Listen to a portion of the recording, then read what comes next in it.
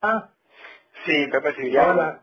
Sí, espera, espera un segundito, por favor. Sí. Hola, sí, hola, hola, hola, hola. Hola, sí, ¿qué tal? ¿Cómo le va? Bien. Bueno, Bueno. Pepito, antes que nada agradecerte por el espacio y por el tiempo. Para mí es un honor hablar con vos y entrevistarte. Gracias, amor, muy amable. Bueno, te están nombrando ciudadano ilustre de la ciudad autónoma de Buenos Aires. El... Sí. ¿Qué es para vos? ¿Cómo recibiste vos esta noticia? La noticia la recibí en Ibiza, lo cual queda muy elegante, recibir noticias en Ibiza se supone que es bárbaro. No, también estaba viajando con Santiago, nos fuimos pues yo estaba eh, muy, muy, muy, muy cansado, tuve que viajar dos meses, y estaba ahí descansando y un amigo me llama para darme esta noticia. Como comprenderás, aún no salgo de mi asombro, aún me cuesta mucho entender algo tan importante como implica que eh, el pueblo, porque los legisladores representan al pueblo. ¿Y lógico? ¿verdad? Eh, eh, no son mis padres, no son actores, no son eh, un, un jurado de premio ACE, es el pueblo. Entonces, que estos legisladores hayan votado una ley, porque ley es, o sea, no es que es, se tiene que convertir en ley, hayan votado por unanimidad todos los bloques que tienen ideas diferentes, que yo soy un ciudadano ilustre, como comprenderás, amando como amo Buenos Aires, porque amo Rosario, por supuesto, me encantaría que me dieran la ciudadanía ilustre de Rosario también, porque también me la merezco, pero te quiero decir, pero de mi ciudad, donde yo vivo, donde, donde es lo más cotidiano, me conmueve profundamente, me conmueve, me conmueve el alma. Estás rompiendo también un poco con el mito de- del refrán este de que nadie es profeta en su tierra. Claro, exacto, pero absolutamente así te agradezco. Exactamente así. Uno puede ser profeta de su tierra, es más difícil. Eso sí, también lo sé. No sé cómo me hubiese ido si yo me hubiese ido a los 18 años a Estados Unidos o a España o a México, donde tuve posibilidades, no en Estados Unidos, pero sí en España, porque me fui enojado, porque iba como muy mal siempre de joven, como es lógico que te vaya mal, y me iba enojado, ¿no? Y, y después volvía porque y porque quería triunfar en mi país. A mí no me divertía triunfar en México. Yo quería triunfar acá, y como soy Tauro y Tauro, muy obsesivo, pues acá me volví. Y sí logré eso que bien decís, que es ser profeta en mi tierra. Y cuesta mucho porque, no sé si pasa en de los países, pero en nuestro país tenemos un poco la, el mito que todo de afuera es lo mejor y que lo nuestro no es lo mejor.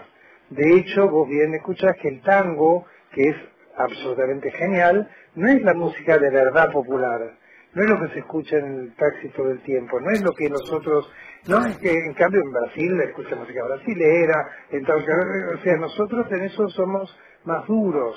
Entonces, cuando a pesar de eso te nombra ciudadano ilustre, desde el afecto, desde el reconocimiento, desde sentir entonces al ser lo que vos te declaran que formás parte de una totalidad de una sociedad, de una ciudad, es algo, y siendo joven, puesto que tengo 63 años, y siempre generalmente se los dan cuando tienen 99 y ni se enteran, es algo muy mágico, es magiquísimo. Entonces el martes es la, la ceremonia a la una de la tarde, entonces la cantidad de gente de Rosario que me ha escrito diciendo que no puede venir y que, pero maravilloso, porque amo Rosario.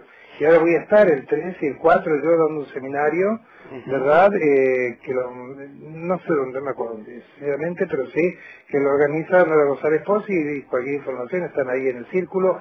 Sé que está ya prácticamente lleno, o lleno, no lo sé, pero bueno, a lo mejor no, no, no tengo idea. A mí me da igual si cuántas personas pueden ir, 100, me da igual 300, si a mí me encanta.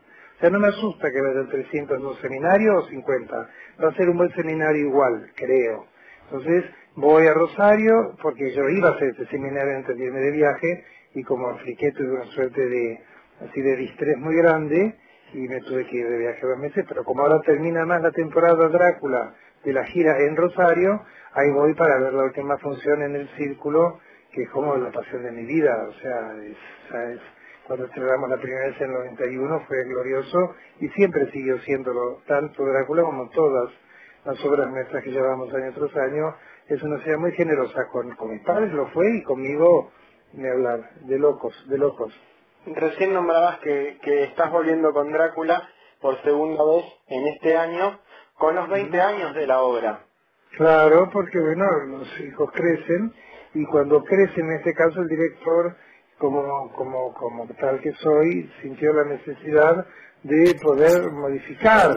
Modificar a un hijo no se lo modifica, se le enseña como para dirigirlo, pero en el camino de la vida, pero en este caso sí que sí tenía que modificar mucho la obra porque creo que se lo estaba quedando en el tiempo, más allá de que la obra en sí es la misma, pero no la puesta, no la propuesta, no investigamos en los personajes de otra manera, fue como, fue en el trabajo nuestro muy, muy gratificante, muy gratificante. ¿Qué significa para vos Drácula? Drácula significa el cambio en mi vida, o sea, Tito Lecture y Ernestina Lecture que apostaron por ese lío en el Luna Park, que era, es un lugar mítico, ¿no?, de Buenos Aires, lo era más antes, porque ellos, al Luna Park iba todo, desde el Papa que había estado Juan Pablo II, Frank Sinatra, Liza Minnelli, el Bolshoi, Parishnikov, lo que te dé la gana. era, era, un templo mágico, el lugar más mítico, formar parte de esa historia, nunca lo hubiese soñado, puedo soñar formar parte de la historia de Park, diez años seguidos que trabajamos allí, diez años hasta que un día, bueno, yo sentí que tenía que abrir un poco mi camino a otros espacios y bueno, y con el mejor amor, pues me despedí un poco de eso y lamentablemente al poco tiempo falleció Tito, si no a lo mejor pues hubiésemos vuelto otro día, qué sé yo. En ese momento sentí que tenía que buscar otros espacios. Pero fueron diez años que me cambiaron la vida y que fue maravilloso. Y Drácula ni hablar, el, primero, el grande. Y cuando estrené Drácula y la gente preguntaba, ¿y ahora qué va? Después de esto y después de esto otra, qué sé yo. Nunca competí conmigo mismo, no se puede competir. Drácula es irrepetible, pero no porque sea mejor o peor que otros que hemos hecho, es porque pasó eso, ¿verdad? Es porque pasó eso, en ese momento, de esa manera, en ese lugar, en ese horario, en esa situación económica, social, política de un país. Pasó Drácula. A lo mejor si hubiéramos traído Jorobado pasaría igual, o a lo mejor pasaría nada. Fue Drácula, o sea que, pero, pero siento que, no es ni mejor obra ni peor. Es una obra que amo muchísimo, pero con pasión, insisto, me cambió la vida desde todo punto de vista. Y crea, crea una particularidad muy, muy importante en el espectador, yo que tuve la oportunidad de verlo y de observar también un poco a la gente, porque yo que este rol de periodista hace que uno observe un poquito más y desde otro tipo de ángulo, que crea un fanatismo en la persona que va a ver tan grande con la obra y tan importante que incluso también se ve en, en, en las redes sociales, en la página de Facebook que tiene la, obra, constantemente la gente pidiendo que vuelvan a los lugares donde estuvieron, subiendo, subiendo fotos. Lo, canta, lo cantan en la platea, no sé si lo cantan los señores que tenían ahora ya 700 mil años porque la vieron a los 40 en el 91. No, lo cantan el de 60, el de 80, el de 14 porque su madre lo llevó, o ahora la que es su abuela, y chicos de 7 años que vienen y me abrazan y yo me conmuevo de tal manera porque digo, ¿qué vigencia me da esto? ¿No? Se me está haciendo, entre comillas, clásico porque de toda una distinta generación, otra y otra y otra y otra, se sigue conmoviendo, y no solo aquella que lo vio por primera vez, hace de una obra este clásico. Pero igual nos pasa desde otro lugar también muy parecido con los Córdoba de París, y ahora el año que viene hacemos Excalibur. Y el otro año son los 20 años del jorobado. Y lo vamos a celebrar también, va a ver que va a ser un hecho muy conmovedor. Y después vamos a celebrar los 30 años de, o los 20 años de Dorian Gray. Y, porque tenemos tantas para celebrar con Ángel. Hemos hecho tal cantidad de cosas que nos tenemos que dar tiempo porque si no vamos a pasar que ahora ya a partir de ahora celebrando, porque dentro de cinco años celebraremos, por supuesto, la boda de plata de Drácula, porque son los 25 años. Y me espero llegar, no sé si llegaré a los 50 años de Drácula, te agradecería mucho la vida, imagínate, ya como Tania en Pero no voy a estar bárbaro, voy a estar muy bien dentro de 25, 30 años ladra porque alguien entró a la casa de la gente. El jardinero, el jardinero que viene a pedirse porque ya pobre no para de plantar. Cuando vinieron a principio de año a presentar los 20 años de Drácula, tuvimos la posibilidad de hablar con Ángel Mahler y yo le hice esta pregunta sobre vos. Le pregunté qué significaba Pepe Cibrián en su vida y él me dijo, es familia.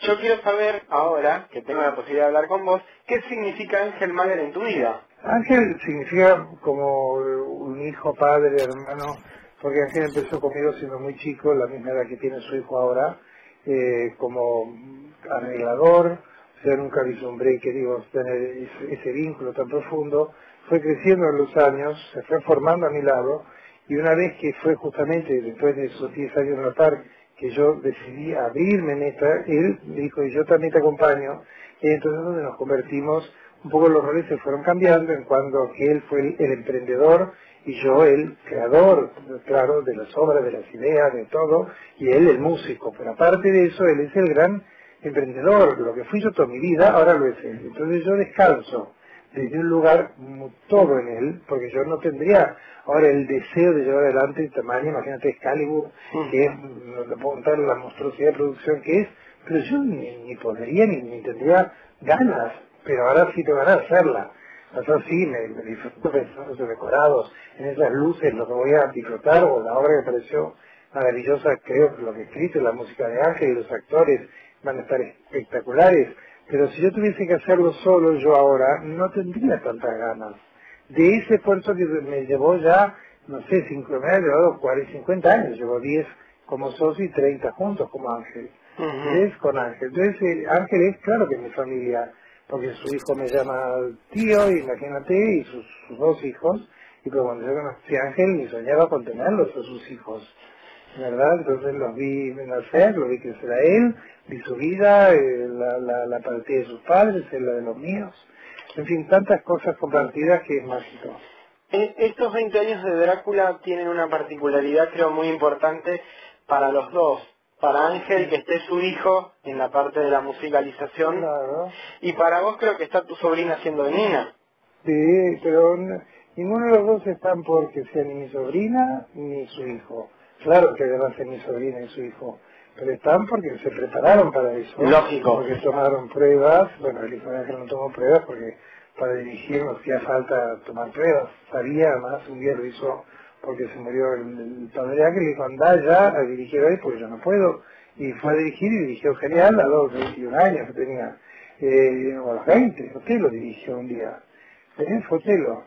Y y después eh, mi sobrina porque se estudió en la facultad de música, porque se entrenó con la voz hace mucho tiempo y tomó las pruebas y me pareció la que más me gustaba a mí y le pareció a la gente la que más le gustaba a él.